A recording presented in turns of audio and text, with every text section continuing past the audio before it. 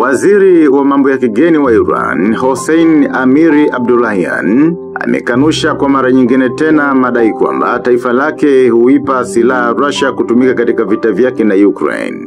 Waziri Abdurrahman amesema Iran haijatoa na haitatoa silaha za aina yoyote kutumika katika vita hivyo huku akisema wanaamini kwamba kutoa silaha kwa upande wowote ule utarefusha mzozo huo. Kiev pamoja na washirika wake wa magharibi wameishutumu Moscow kutumia ndege zisizokuwa na rubani kutoka Iran kuishambulia Ukraine katika wiki za hivi karibuni.